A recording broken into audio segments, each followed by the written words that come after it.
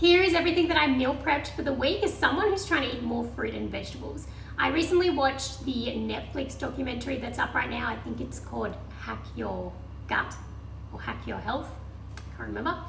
And if you have also watched that, then you would know that it's not only important to make sure that we're getting enough fruit and vegetables, but it's also important to make sure that we're getting a diverse range. So they recommend to have over or up to 40 plants, plants and fruits per week.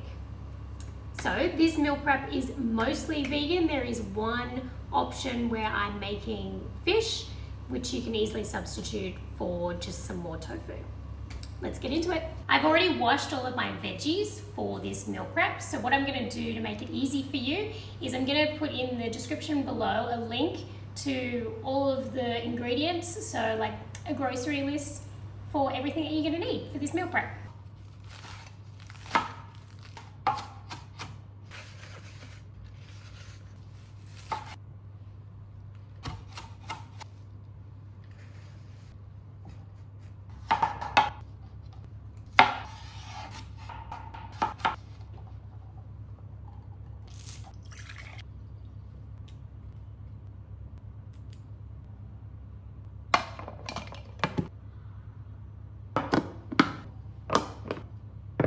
And now we're up to my favorite part, which is the fruit.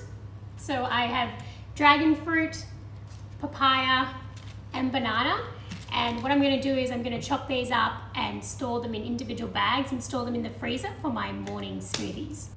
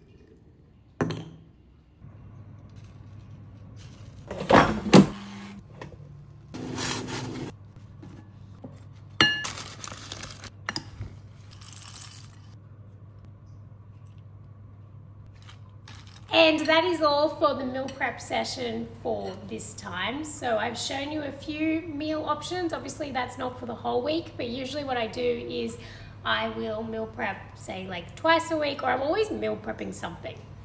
Because um, this is all fresh ingredients. I'm gonna have to do another one. So if you enjoyed this, make sure you give me a thumbs up and subscribe because I'm gonna keep sharing mostly vegan, um, or always can be made vegan meal prep options. Like this with lots of fruits and veggies and lots of plant proteins because that's what's really close to my heart. And yeah these weekly meal prep videos are really kind of where it all started. So if you have enjoyed them then leave a comment let me know subscribe and I'll see you again next week